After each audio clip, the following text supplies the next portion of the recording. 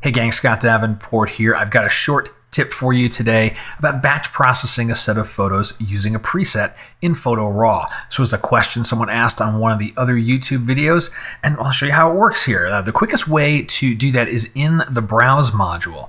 So you can browse any folder, uh, the catalog folder, regular folder, any album, any way that you want to get a set of thumbnails into Browse. Then just pick the set of photos you want to adjust go into your presets tab, and then choose a preset to apply.